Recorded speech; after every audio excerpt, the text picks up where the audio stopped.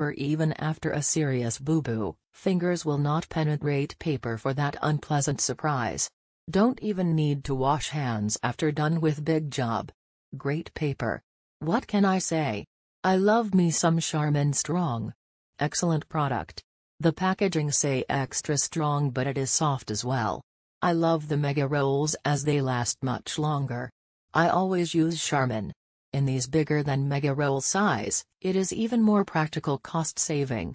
I used to use cheaper tissue. But tried Charmin when I got a great savings coupon. What I found out is that it is not only softer better than others. It is very cost effective. Two rolls take me through a month.